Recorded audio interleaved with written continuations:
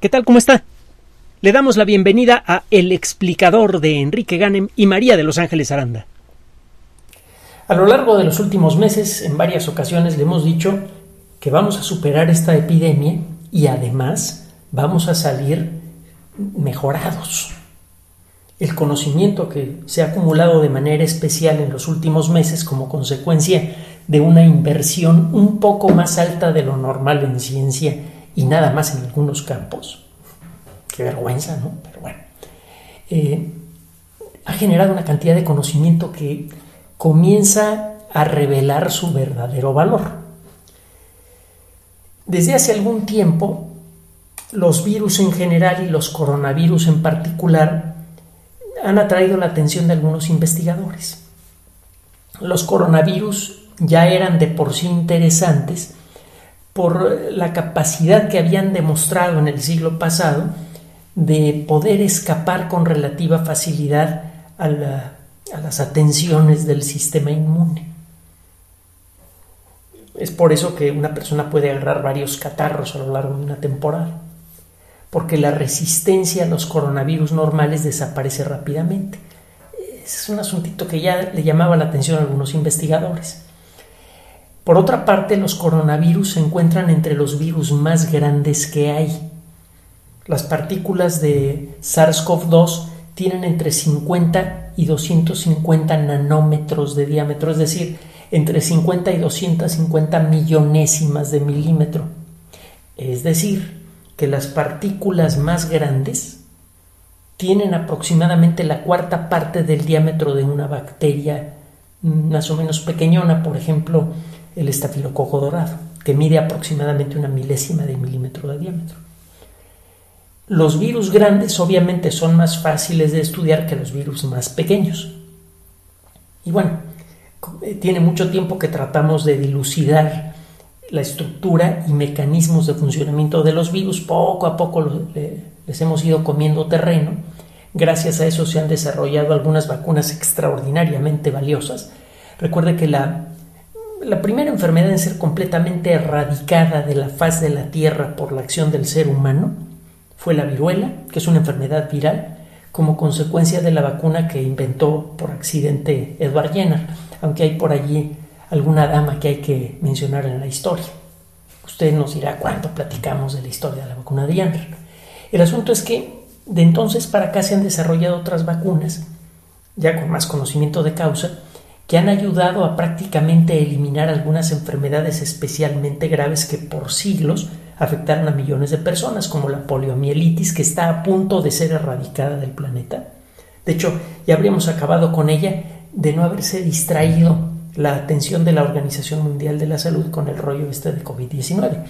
Está también la fiebre amarilla, que por mucho tiempo mató a miles y miles de personas en zonas tropicales, bueno, y no solo en zonas tropicales, pero principalmente en zonas tropicales, y que ahora está mayormente controlada en parte como consecuencia del desarrollo de vacunas y medicamentos efectivos.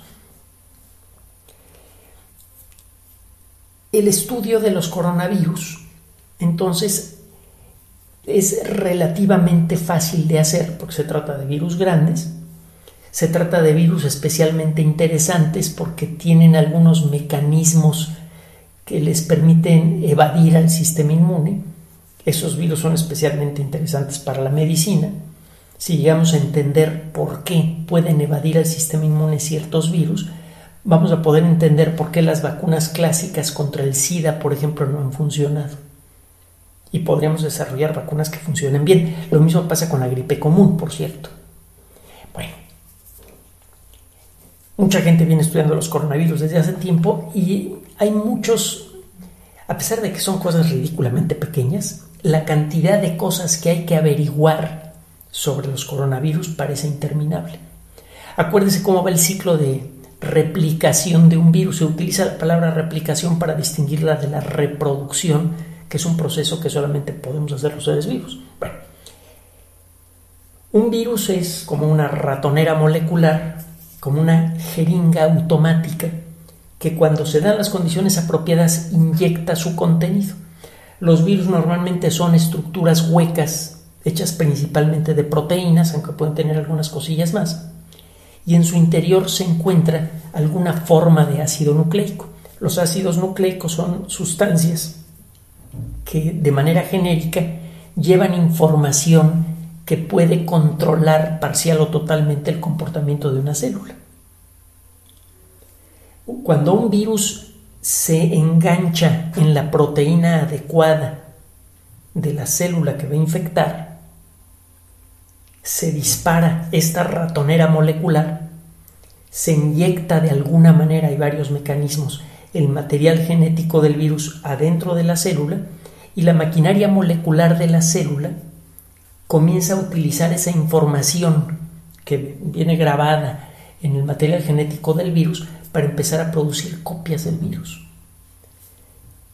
La célula se empieza a llenar de copias, estas copias comienzan a salir de la célula, una célula infectada comienza a, aventar virus en todas direcciones y el proceso se va acelerando, la célula va perdiendo fuerza, porque en lugar de fabricar las sustancias que necesita para vivir, se dedica a fabricar copias de virus hasta que la célula muere y revienta y se terminan por salir los virus que están adentro de ella.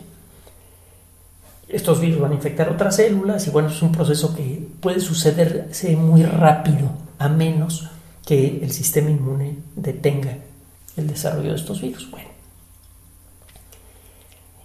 si usted quiere curar una enfermedad viral, primero tiene que entender qué son los virus, luego cómo funcionan y luego se va al detalle.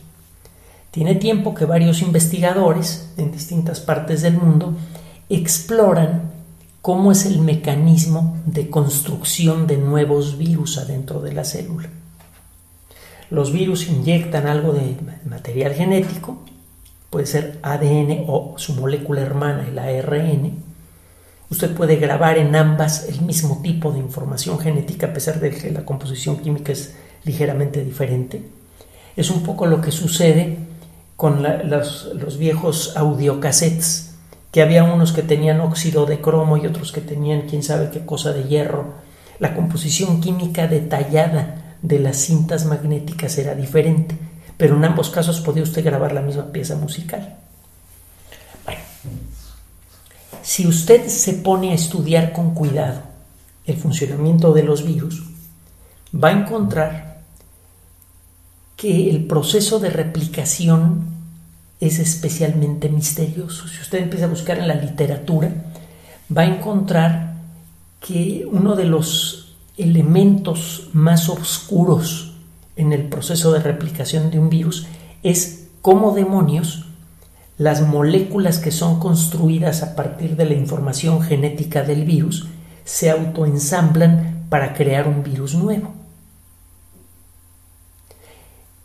Este proceso de ensamblado tiene que ser automático. La célula por sí misma no tiene maquinarias moleculares que puedan ser controladas por el virus para fabricar nuevas copias del mismo virus. la información genética del virus es leída por la maquinaria que produce proteínas en la célula y se producen las partes del virus. Pero esas partes hay que ensamblarlas para crear un virus nuevo y hay que asegurarse que adentro de ese virus queda una copia idéntica, por lo más idéntica posible, del material genético que fue inyectado por el virus que inició la infección. Tiene que empezar usted a construir un montón de copias de estas estructuras de proteínas que tienen en el interior una copia del material genético original del virus. ¿Cómo funciona este proceso? Bueno, hay un cuando usted se pone a estudiar con gran detalle no solamente la composición química, sino la estructura en tres dimensiones de la molécula de ácido nucleico de los virus, en particular de los coronavirus, encuentra usted ciertas regiones con una estructura molecular muy particular. Encuentra ciertos grupos de, de átomos que se repiten en la estructura de esta molécula. Si usted pudiera ver de cerca la molécula de ARN, de ácido ribonucleico del virus, del coronavirus, vería que es una molécula gigantesca, gigantesca, y, aparentemente vería átomos tirados así al azar en la estructura de esta molécula gigante. Si empieza usted a ver con más detalle, con más conocimiento, va a encontrar eh, que estos átomos realmente no están tirados al azar, sino que están ordenados en grupos con características muy particulares.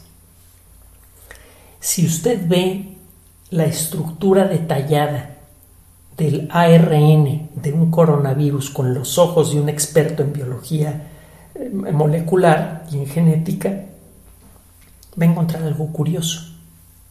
Va a encontrar que en ciertos puntos de la molécula aparecen unas marcas moleculares que siempre tienen la misma estructura. A estas estructuras se les conoce como señales de empaque o packaging signals en inglés. Estas señales de empaque se llaman así porque aparentemente ayudan a que las proteínas que han sido producidas por la maquinaria molecular de la célula bajo control del virus se vayan pegando alrededor de estas señales de empaque y vayan creando la cubierta del virus alrededor del ARN. Sirven de eh, referencia automática para que las moléculas se vayan agregando en ese punto. Atraen de alguna manera a las proteínas sueltas que se van pegando unas con otras para crear una estructura eh, esencialmente esférica que tiene en el extremo eh, exterior, en la cara exterior, las famosas proteínas de pico. Entonces, estas packaging signals, estas señales de empaque, estas regiones, estos grumos de átomos que ve usted en distintos puntos en la molécula de ARN de un coronavirus, tienen especial interés si lo que le interesa por una parte, si lo que le llama la atención es entender cómo le hacen los virus para autoensamblarse. Y eso a su vez tiene un gran interés para el tratamiento. Porque hasta ahora el desarrollo de muchas sustancias antivirales ha sido, pues, en cierto modo artesanal, empírico. Usted busca qué sustancias en laboratorio parecen bloquear el proceso de replicación de un virus y luego ve si esas sustancias, de manera sistemática desde luego, eh, pero se pone a ver si esas sustancias son venenosas o no para animalitos. Y si no son venenosas o no mucho, entonces intenta con células humanas individuales. Y si la cosa se sigue viendo más o menos bien, entonces ya busca usted permiso para hacer pruebas en seres humanos. Y me estoy brincando varias etapas aquí.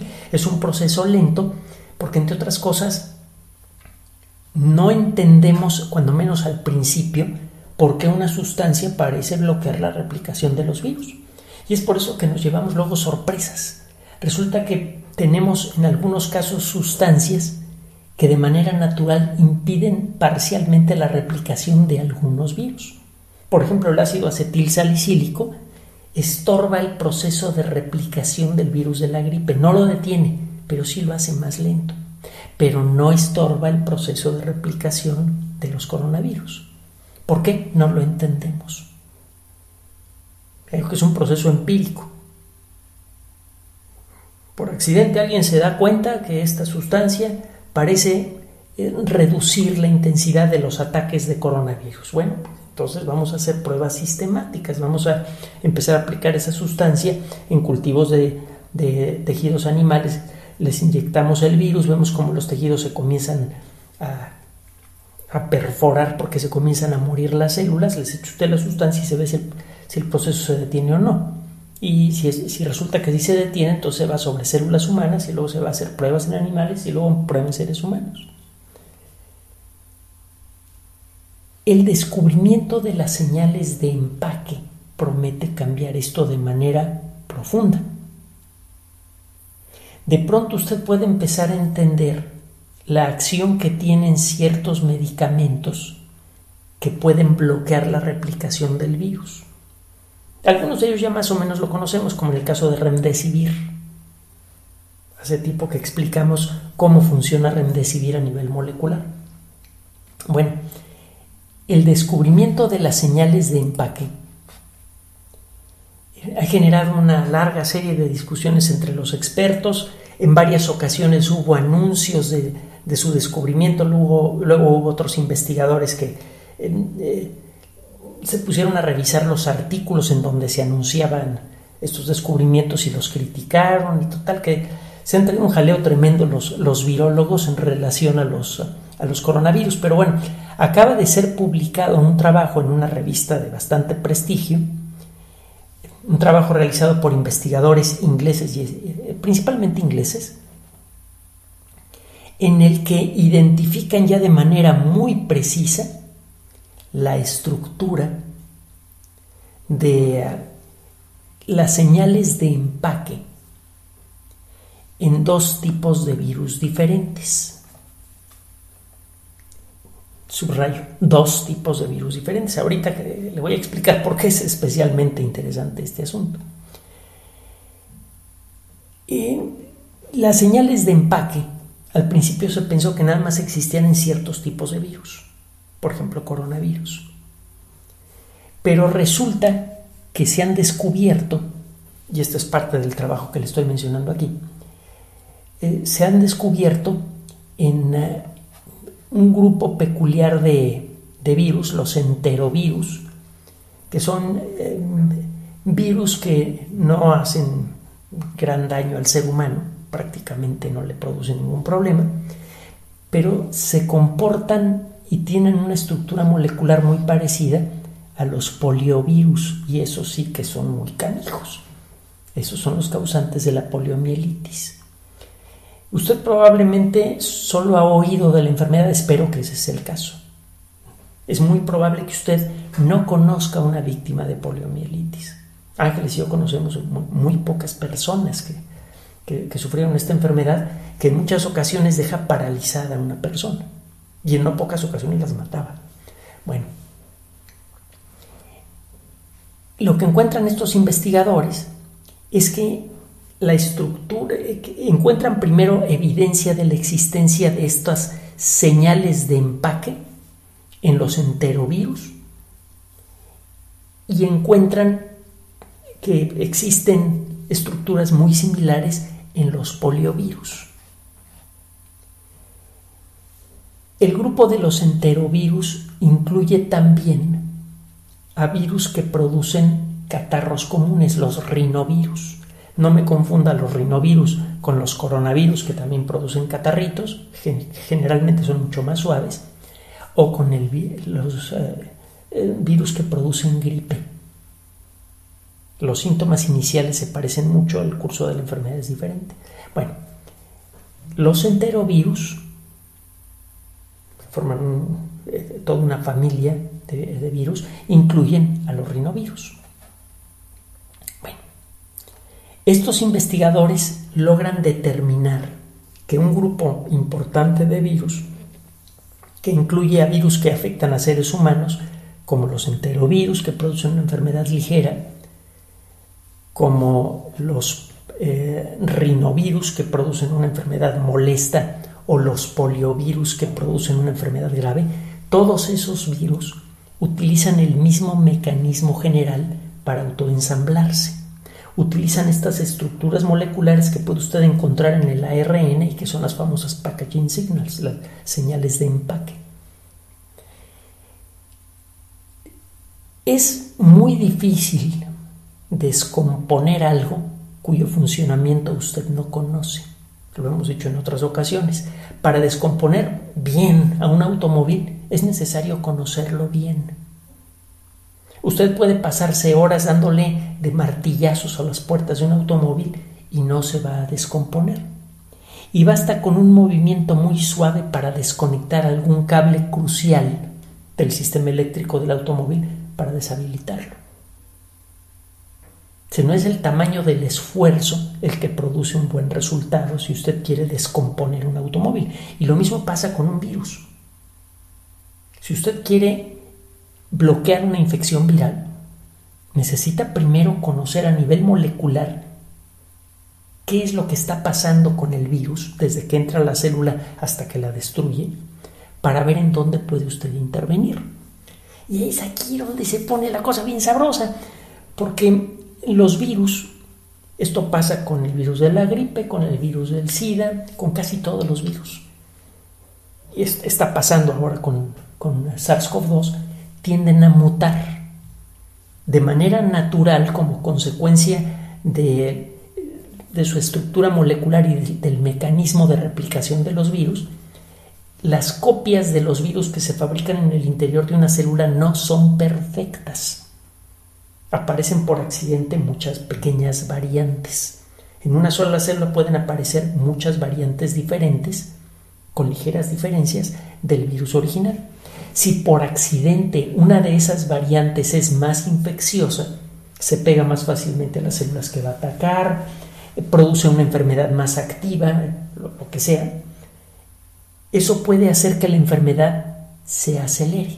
Eso es lo que pasa con muchas epidemias.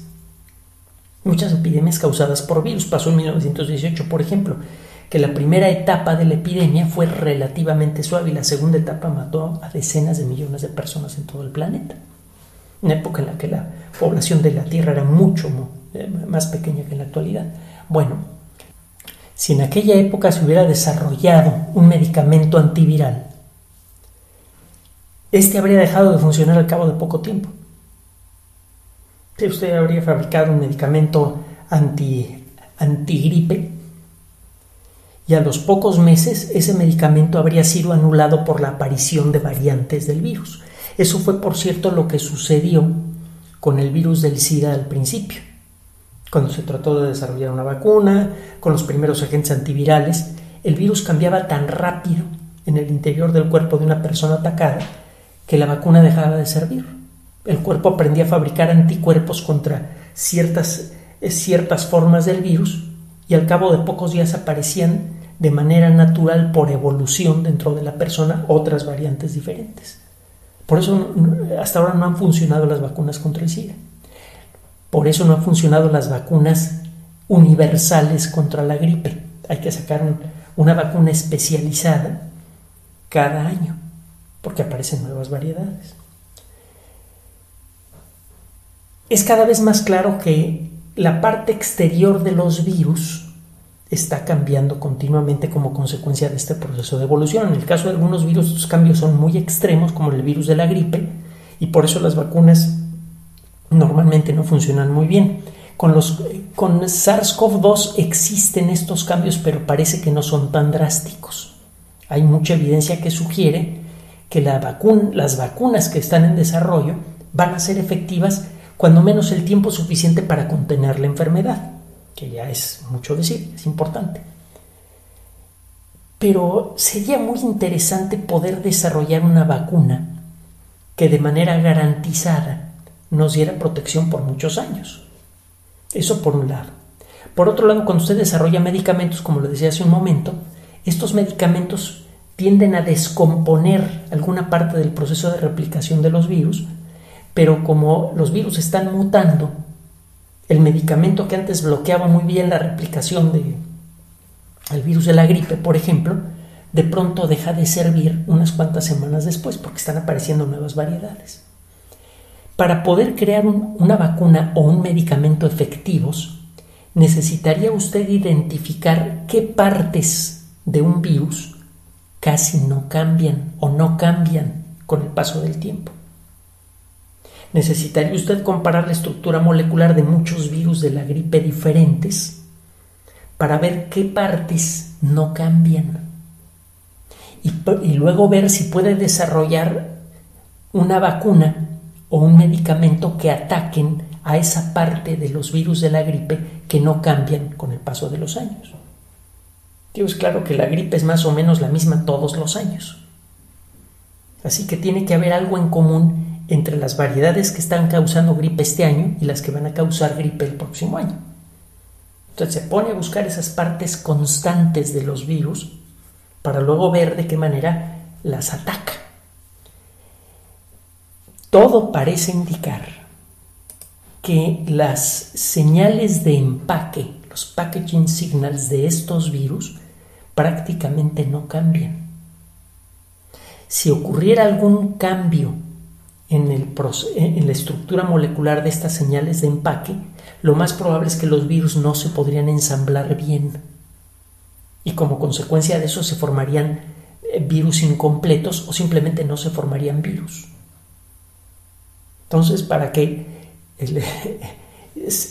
una célula pueda involuntariamente fabricar muchos coronavirus o muchos poliovirus o muchos rinovirus, se necesita que las señales de empaque en el ARN de los virus se encuentren siempre en el mismo lugar de la molécula y siempre con la misma estructura molecular. Ahí están las partes constantes contra las cuales se podrían desarrollar medicamentos, por ejemplo. Si se logra, ya, ya, ya vimos qué parte de los virus no cambia, cuando menos de estos virus. Y ahora lo que sigue, gracias a este nuevo conocimiento, es diseñar moléculas que puedan bloquear de alguna manera este proceso. Eso se puede hacer con la ayuda de supercomputadoras, de eh, una disciplina que ahora se llama biocomputación, en la que, entre otras cosas, usted puede pedirle a una computadora que vaya simulando la estructura de distintas moléculas que puedan acomodarse en algún rincón, en alguno de los packaging signals del virus para bloquearlo, descomponerlo. Esto ya, ya hay varios grupos que quieren empezar a hacer este tipo de trabajos. Más adelante, usted puede encontrar mm, alguna técnica para desarrollar vacunas que de alguna manera ataquen, identifiquen a los virus que tengan alguna estructura de este tipo. Es un poquito más complicado, otro día le explico por qué. Pero el asunto es que si usted logra desarrollar un medicamento que pueda bloquear de manera efectiva los packaging signals, ese medicamento casi con seguridad sería muy efectivo y no perdería efectividad con el paso de los años. Esa es una noticia buenísima. Estamos hablando aquí de rinovirus, que producen catarros más o menos molestos. Estamos hablando de enterovirus, que producen algunas infecciones, alguna molestia intestinal pasajera. Y estamos hablando de coronavirus, de todos los coronavirus, los no peligrosos y este que nos está dando tanta lata. Pero hay algo más. Ya para terminar, hay evidencia que sugiere con mucha claridad que todas las demás variantes de virus, todos los otros tipos de virus, deben tener el equivalente a las señales de empaque. Su estructura molecular probablemente sería algo diferente.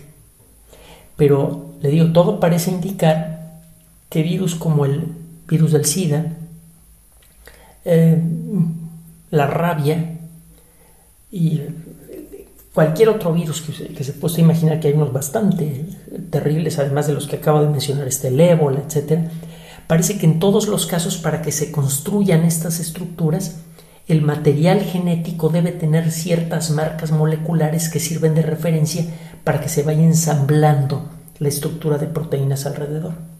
Así que si llegamos a desarrollar un medicamento que bloquee las señales de empaque de estos virus, las que ya conocemos, las que han sido identificadas con este trabajo, podríamos repetir el mismo trabajo con otras variedades de virus y desarrollar medicamentos de larga duración, de alta efectividad, contra casi cualquier enfermedad viral. Por primera vez en la historia podríamos tener medicamentos efectivos, muy altamente efectivos, contra prácticamente cualquier enfermedad producida por virus. Y hay muchísimas y algunas de ellas pueden derivar en cáncer, por ejemplo. Pasa con, eh, eh, por ejemplo, con eh, algunas formas de leucemia, parece que está involucrado un virus por allí, pasa con algunas formas de cáncer de piel, parece que también está involucrado un virus por allí, pasa desde luego con la hepatitis C, con la hepatitis B. Podremos de pronto tener medicamentos muy efectivos, de larga duración, para los cuales el virus no podría desarrollar resistencia. Y todo esto es consecuencia del esfuerzo tecnológico acelerado, científico y tecnológico acelerado, que se ha desarrollado para tratar de contener esta pandemia. Entonces, para cuando termine la pandemia, si se sigue apoyando a la ciencia, aunque sea de manera mínima, los grupos de investigación que ya están trabajando podrían empezar a ofrecer medicamentos más avanzados contra todas las demás variedades de virus. Y ese sería el principio para desarrollar toda una gran familia de medicamentos diseñados a nivel molecular para controlar un montón de otras cuestiones. Por ejemplo, cáncer, enfermedades neurodegenerativas y otras enfermedades.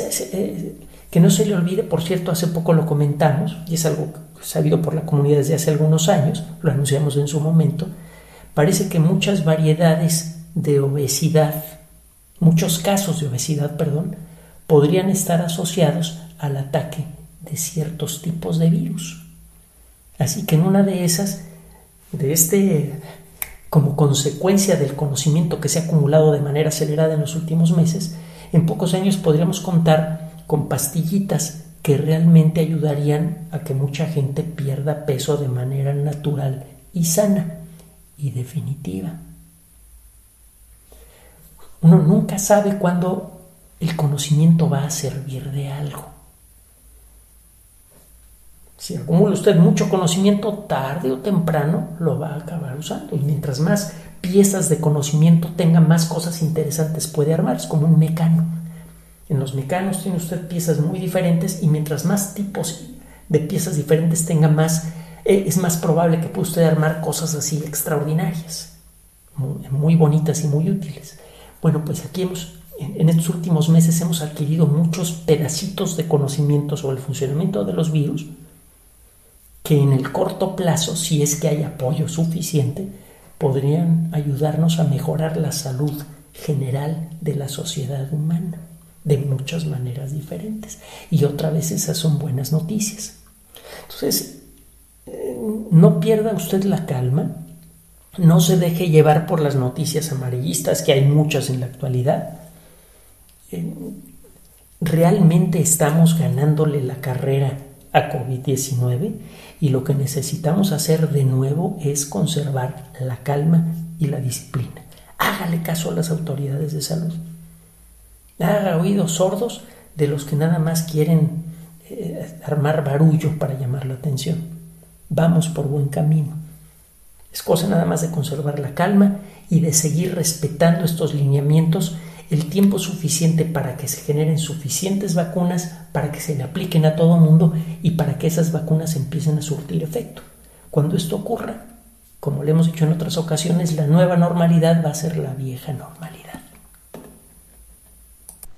Gracias por su atención. Además de este canal oficial en YouTube, tenemos nuestro sitio web www.lexplicador.net, las redes sociales de siempre, Twitter Enrique-Ganem, Facebook Enrique Ganem, sitio oficial.